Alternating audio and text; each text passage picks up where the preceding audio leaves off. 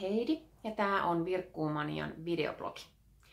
Tänään on vuorossa tämmöinen erikoisjakso. Nimittäin tässä jaksossa mä puhun vain yhdestä ja ainoasta projektista ja se on tämmöinen kuin Traveling Afghan peittoprojekti. Oon tällä viikolla saanut tähän idean ja perustanut tälle ryhmän Facebookiin, jos joku haluaa tähän vielä mukaan liittyä. Eli tarkoituksena olisi virkata peitto vuoden aikana. Ja, ja kuuntelen ja katsoon tätä, jos haluat saada lisätietoja, mistä on kyse. Mukava projekti varmasti tulossa ja mielenkiintoinen ja varmasti voi oppia uusia asioita virkkauksen saralta. Niin näytän, näytän nopskaa tähän ne, mitä nyt on ohjeita jo julkaistu. Niin vähän tulee ehkä semmonen mielikuva, että mistä nyt puhutaan, millaisista neliöistä. Niin tässä. Vähän ehkä nyt heijastaa huono toi ikkuna, mutta, mutta tota, tällaisia. Tämä täällä alakulmassa on nyt viimeisin, viimeisin neliö ja tämä täällä yläkulmassa on se ensimmäinen, mitä lähdetään lauantaina tekemään. Toi on toinen. Olikohan, jo, ei kun joo, toi keskellä tossa on neljäs. Oi mä odotan tota sydämen tekemistä. Ja tota, mutta tämmöisiä nyt lähdetään siis tekemään. Ja jos olette Instassa, niin Instasta löytyy, mä laitan tämän hashtagin vielä tuohon alle, Traveling Crochet Afghan, niin sillä löytyy, mitä maailmalla on jo näitä neljöitä tehty. Niin kannattaa käydä katsoa vähän inspiraatioa, että millaisia, millaisia peittoja sieltä on tulossa. Mutta vähän taustaa nyt, että miksi, miksi on lähtenyt uuteen peittoprojektiin, koska mähän on just saanut valmiiksi siis yhden peiton, joka kesti kaksi kuukautta. Tosin mähän tein sitä siis joka päivä. Tämä tehdään vuoden aikana niin kuin pikkuhiljaa.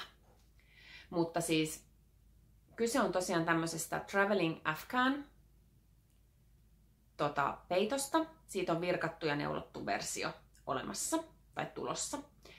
Ja tota, no mä teen tietenkin sen virkatun version. Ja tämän alkuperäinen idean äiti on, ö, hetkinen, Alexandra. Joo, Alexandra Two, two of Once tota, blogista. Ja hän lanseerasi siis tämän vuoden alussa. Tämä on alkanut jo tammikuussa tämä projekti, mutta mä oon nyt vähän myöhäisherännyt, mutta se ei haittaa ollenkaan. Eli meidän ei ta- tämän projektin ei ole tarkoitus, että me saadaan nyt kii muu maailma tässä. Mutta tosiaan siis mä näin tämän Instassa, muistaakseni jo helmikuussa, tästä kuvia tästä peitosta, tai neljöistä, joita siihen on jo tehty. Ja, ja tota, silloin ajattelin, että oi hitsi, onpa ihanan näköisiä, että kiva idea tehdä yksi neljä rauhalliseen tahtiin ja lopulta sulla on kasassa kiva peitto. Mutta silloin mä ajattelin, että en mä nyt tähän rupea, että kun mä just teen tätä daalia-peittoa ja mulla on paljon muutakin tekemistä. Ja unohdin sen sitten. Mutta siis sitä aina välillä niin kuin, tietenkin kävi mielessä, että hitsi kun olisi mukava tehdä tota. No, tilannehan nyt siis kärjisty, tai kärjisty on ehkä vähän huono sana, mutta tuossa tota maanantaina. Tämän viikon maanantaina mä olin vapaa-päivällä töistä ja vähän ehkä ahdistunut vallitsevasta tilanteesta. Esimerkiksi että meidän töissä suositeltiin, että kaikki siirtyy etätöihin ja tota, sitten oli sitä puhetta, että koulut siirtyy etäopetukseen jo, ja nehän ovat nyt siis tässä pari päivää ollut jo etäopetuksessa. Ja vaan semmoinen, niin kuin, että mä oon niin kyllästynyt tähän koronavauhoitukseen tai koronasta puhumiseen ja uutisten kuuntelemiseen ja lukemiseen tästä aiheesta, että mä tarvin jotain muuta ajateltavaa. Ja sitten maanantaina vaan, että himpskutti viemään teen sen peiton. Ja aika saman tien tuli ajatus siitä, että mä en halua tehdä tätä yksin, vaan mä haluan tehdä tätä yhdessä. Ja saman tien postasin mun Virkkuumania Facebook-sivulle, että kuka lähtisi mukaan. Ja jaoin sen sitten Vilkasta virkkaustakin ryhmään. Ja nyt tota, mulla on noin parisenkymmentä innokasta virkkaajaa, jotka voisivat tätä peittoa mun kanssa ruveta tekemään. Ja nyt teen siis tämän spesiaalijakson vain tästä peitosta, että jos joku vielä innostuisi tota noin, lähteä mukaan. Eli tämän videon tarkoitus on nyt vähän kertoa, mistä on kysymys ja miten lähdetään tekemään. Että toivon, että, että tota noin niin, jaksatte katsoa tämän loppuun, vaikka ette ehkä peittoa olisikaan tekemässä, mutta ehkä sieltä rupeisi kyteen joku ajatus, että voisikin vaikka lähteä mukaan mukavaan yhteisprojektiin tällaisessa epämääräisessä ja epänormaalissa tilanteessa, missä nyt ollaan. Mutta tosiaan siis, vähän nyt siitä, sit siitä itse peittoprojektista, mitä se tuo maailmalla nyt menee. Eli Two of Once, Alexandra on tämän ajatuksen äiti, ja hän on yhdessä Lion Brand-nimisen lankafirman kanssa tätä lähtenyt tekemään. Lion Brand on tarjonnut suunnittelijoille langat tähän. Lankana taisi olla Wool Ease-niminen lanka, jossa oli akryyliä ehkä 70 prosenttia ja villaa 30 prosenttia. Ja tässä on siis mukana 24 eri suunnittelijaa. Ja tässä tehdään 24 eri neliöä. Jokainen neliö on erilainen. Ja tota, nyt on kuusi neliöä jo julkaistu niitä, että ensi viikolla taitaa tulla seitsemäs. Mutta me aloitetaan tulevana lauantaina neliöstä numero yksi. Tai nyt lauantaina 21.3. Ja tota, ottakas, mulla on tässä muistiinpanot, että mä muistan kertoa kaikki. Joo, eli siis kuusi neliöä on jo julkaistu ja ne on julkaistu noin kahden viikon välein. Ja sillä tavalla ka- noin kahden viikon välein 24 neliöä, niin jos olisi tammikuussa aloittanut, niin peitto olisi valmis loppuvuodesta. Ja tota, mä oon ajatellut niin, että me tehdään tätä myös, toki saa, ne jotka tähän osallistuu, saa edetä omaan tahtiin, mutta tota, mä oon ajatellut, että edetään ihan rauhalliseen tahtiin, koska haluan, että mulla on aikaa myös virkata kaikkea muuta. Että että jos edetään sillain rauhalliseen tahtiin ja noin kahden viikon välein kanssa, tai joka toinen lauantai aloitetaan uusi neljä, niin meilläkin olisi sitten valmis peitto vuoden päästä tähän aikaan. Joo, olisikohan nyt siitä niin kuin muuta siitä. Joo, kaikki ohjeet on ilmaisia. Ne löytyy netistä, kyseisen suunnittelijan nettisivuilta. Ja ne on englannin kielellä osa taitaa olla Amerikan termeillä ja osa tota, britti-englannin termeillä. Ja mä oon siis luvannut auttaa mahdollisuuksien mukaan, jos on tenkkapoo tulee. Mutta tota, ei kannata pelätä sitä englannin kieltä liikaa. Öö, kerta se on ensimmäinenkin. Mäkin on joskus silloin aikoinaan uskaltautunut ensimmäisen englanninkielisen ohjeen kimppuun. Ja sen jälkeen, kun sitä muutaman kerran tekee, niin se lähtee siitä sujumaan. Kyse on kuitenkin lyhenteistä, joille on Suomessa vastine. Ja sitten kun ne, ne hoksaa, niin se on ihan samanlaista virkata englanninkielisestä kuin suomenkielisestäkin ohjeesta. Ja osa näistä ohjeista oli jopa siis YouTubessa toi tutoriaali, videotutoriaali, että se auttaa myös siinä, sitten siinä tekemisessä, jos englanninkieliset termit ei ole vielä kovin tuttuja. Mutta tosiaan ei kannata sitä englannin kieltä niin kuin, tota, pitää semmoisena esteenä, että tota, ö, ohjevideoita ja neuvoja varmasti löytyy. Joo. Ootas sitten tota... Joo, koko. Ö, ohjeessa on mainittu, että yhden neliön koko olisi noin 25 cm kertaa 25 cm. Eli tarkoittaa sitä, että tästä peitosta tulee ihan kunnon kokoinen peitto. 100 kertaa 150 senttimetrinen. Jos ajattelee, että neljä neliöä leveyttä ja kuusi neliöä sitten pituutta, niin 100 kertaa 150 senttinen peitto. Ja tota, joo. Mutta sitten tota, siihen, mitä mä ajattelin nyt tehdä. Mulla on tähän siis perustettuna Facebookissa, Virkkuumanian Facebook-sivulla oma ryhmä, Traveling Afghan, virkattu peittoryhmä. Niin siihen liittymällä niin saa tota noin niin, sitten lisätietoja.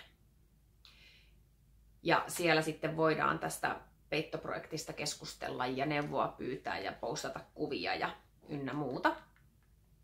Ja mä tosiaan ajattelin niin, että 21.3. lauantaina aloitetaan sillä, että mä postaan sinne ryhmään tämän ensimmäisen neljän ohjeen sekä mahdollisen videotutoriaalin. Ja sitten siihen kommentoimalla voi kysyä neuvoa tai apua tai postata edistymisestä tai ihan mitä vaan. Että se tässä vähän niin kuin on ideana, että tehdään niin kuin yhdessä ja, ja tota noin, niin nähdään mitä muut tekee. Ja nyt siellä on jo esimerkiksi niin kuin lankavalinnoista voi postata kuvia tai kommentoida, että mistä langoista aikoo tehdä. Ja joo. Niin. Eli siellä Facebook-ryhmässä tämä niin kuin tapahtuu. Ja sitten kahden viikon päästä lauantaina aamusta postaan sitten neljän kaksi ohjeen sinne ja mahdollisen videotutoriaalin ja sitten käydään siitä keskustelua siellä. Mutta mä laitan tähän videon alle kaikki linkit sitten näihin ryhmiin tai mun Virkkuumania Facebook-sivulle. Ja sitten tuosta langoista. Eli tässä oli semmoinen Wool Ease, oli se Lion Brandin, mitä he suositteli tähän, tai millä tämä peitto niin tehdään. Mutta tota, mä ajat, siis heti oli selvää, että en rupea tilaan kyseistä lankaa mistään ulkomaan nettikaupoista, vaan mä haluan löytää Suomesta jonkun langan. Ja heti tuli mieleen Novitan, Novitan langat, edullista lankaa tämmöiseen isoon projektiin. Ja tota, mm, tota valitsin seitsemän veljestä langan, koska se mätsää vahvuudeltaan aika hyvin siihen ohjeen lankaan. Ja tota, koukuksi mä vali, valikoitui kutosen, kutosen koukku. Että suurin piirtein pääsis mäts, mätsäämään siihen ohjeessa annettuun kokoon. Toki siis jokainen voi valita oman langan ja siihen sopivan koukkukoon. Ja oma käsialläkin vaikuttaa siihen, mikä se koukku on. Et voi tehdä pienempiä neliöitä tai isompia neliöitä, mutta ajatuksena varmastikin on se, että sitten ne neliöt olisi keskenään aika lailla samankokoisia, että ne on sitten helppo yhdistää. Et ei ole pakko seiskaveikasta tehdä. Voi tehdä vaikka nallesta, siitä tulee silloin vähän pienempi ja ohuempi siitä peitosta kuin seitsemän veljestä langasta. Ja semmonen hei tärkeä asia, öö, mitä mä ajattelin ainakin siis tehdä, niin että kun mä saan neljön valmiiksi, tai kolme neliöä, niin mä en yhdistä niitä vielä siinä vaiheessa, vaan mä kastelen jokaisen neljän. Tota, voi käyttää siis ihan tilkka vaikka huuhtelu, ihan pieni tilkka huuhteluainetta tai sitten semmoista villa neulelle tarkoitettua pesuainetta. Niin liottaa sitä neliöä siinä vähän aikaa ja puristelee sitten ylimääräiset vedet pois siitä ja pingottaa oikeaan mittaan sen neljän. Ja sitten kun on kaikki tehty näin, niin sitten vasta yhdistää. Koska mä oon ihan varma, että seitsemän veljestäkin pehmenee tosi paljon.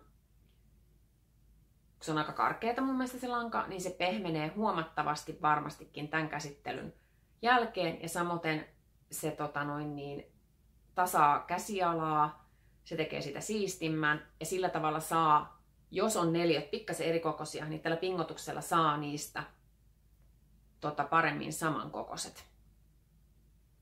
Mutta mä palaan varmastikin näihin pingotusasioihin sitten tota, jossain kohtaa erikseen. Että kerron, kerron tarkemmin, miten mä sen teen. Mutta esimerkkinä tota, mulla on, mä tein testiversio siitä ekasta neliöstä, niin, niin seiskaveikasta tällaisesta turkoosista. Ja tää on kutosen koukulla nyt tehty. Ja tää on sitä ensimmäistä neliötä. Tää on vähän niin kuin korin pohjaa itse asiassa. Pelkkiä pylväitä etu- ja takakautta. Ja mulla tämän mitta on nytten 23 senttiä kutosen koukulla, kun ohjeessa oli, että 25 senttiä. Niin, niin mä ajattelin, että tämä riittää mulle tämä koko. Mä saan pingottamalla tähän luultavasti vähän lisää, tai sitten se, se jää tämän kokoiseksi. Mutta tämä oli mulle siis hyväksyttävä, hyväksyttävä koko verrattuna siihen ohjeen vaadittuun 25 senttiin. Ja semmoinen huomio vielä, että tämän on suunnitellut 24 eri suunnittelijaa. Jokaisella on eri tyyli, jokaisella on eri käsiala, vaikka kaikki käyttää samaa lankaa ja samaa koukkua. Niin mä oon aika varma, että siellä tulee mielenkiintoisia juttuja vastaan. Mutta se, se on tässä mun mielestä todella mielenkiintoista nähdä, miten 24 suunnittelijaa samasta langasta, samalla koukulla, niin saadaanko niin kuin, samankokoista aikaiseksi.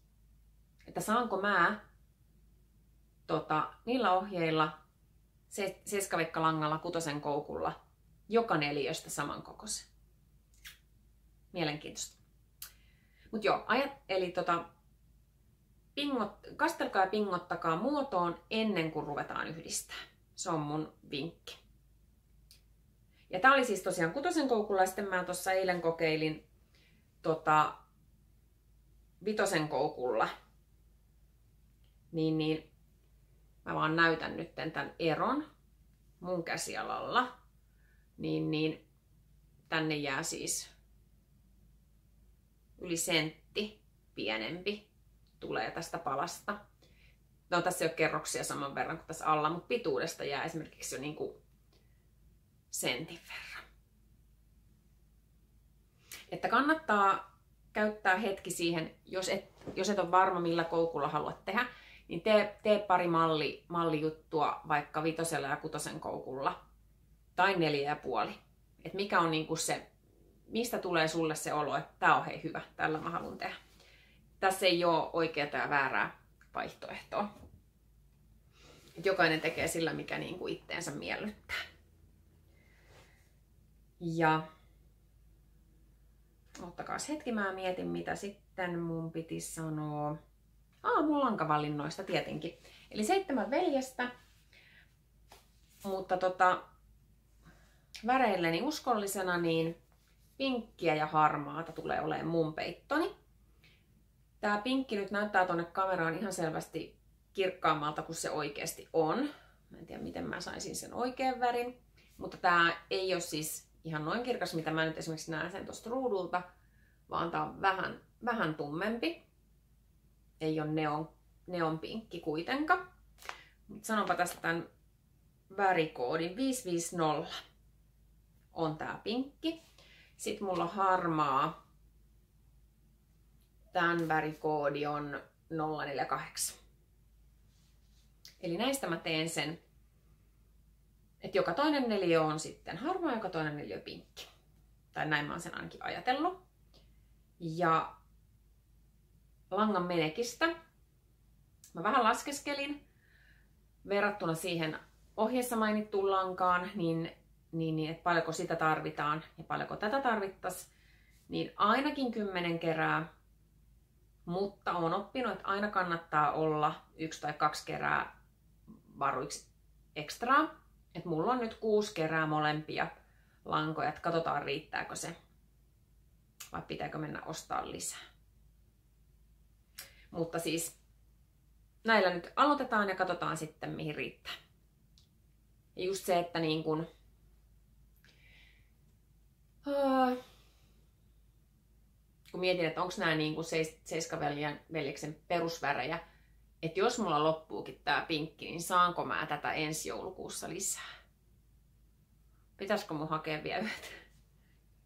Se on ihan kaameelta, kun tää pitää arvioida, että kuinka paljon sitä lankaa menee.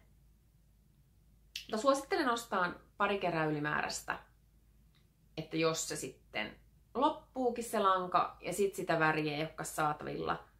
Ja värierähän on sitten, voi olla myös eri, tai luultavasti onkin eri, niin sitten siinä voi olla myös sävyeroja. Että se, se on se haaste sitten näissä langan riittävyysasioissa. Mutta suosittelen hommaamaan tarpeeksi. Ja tuossa itse asiassa Facebook-ryhmässä jo muutama ilmoitteli, että meinaa tehdä jämälangoista,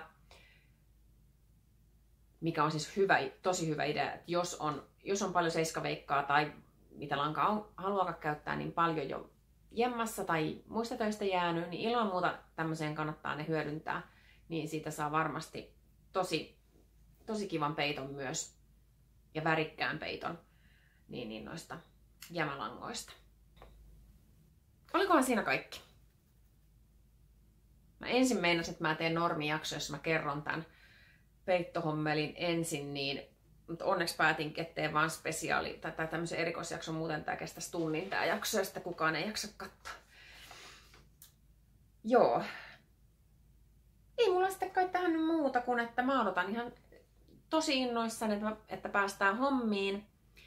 Ja kaikki tarvittavat linkit löytyy tuosta alapuolelta. Ja Facebookissa tosiaan Virkkuumania, Facebook-sivu ja siellä ryhmä. Traveling Afghan. Toivottavasti nähdään siellä. Toki tämän videonkin alle saa kysyä, jos on kysyttävää, lisätietoja, mitä, mitä haluatte tietää. Vastaan mielelläni. Mutta siellä sitten siellä Facebookissa niin, niin, niin ruvetaan yhdessä virkkaamaan. Toivottavasti, toivottavasti sieltä jokunen löytyy vielä mukaan tähän, tähän mielenkiintoiseen ja kivaan projektiin. Niin tehdään yhdessä yhdessä kivat peitot ja saadaan vähän jotain muuta ajateltavaa tähän elämään kuin vallitseva tilanne. Joo. Mahtavaa. Ei mulla siis muuta.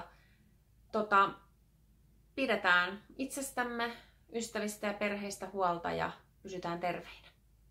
Toivottavasti nähdään peiton merkeissä Facebookin puolella. Moikka!